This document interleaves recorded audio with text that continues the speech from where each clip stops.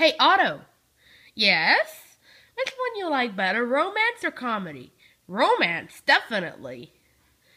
What would your dream girl look like? Well, if I wasn't fixed up to where I can't reproduce, I'd probably date a Cocker Spaniel. Why would you date a Cocker Spaniel? Because Cocker Spaniels are romantic. Let's just say that. And sweet. And cuddly. And, well, I would love to reproduce Cocker Spaniels mixed in with Snoodles. If you cross those two, I'd I'd probably think of a very awesome match. Very awesome. Only if I weren't fixed. Otto has the right idea.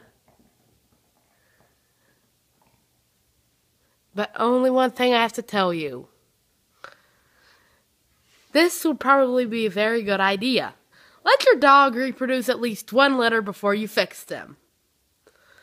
Love you. Bye.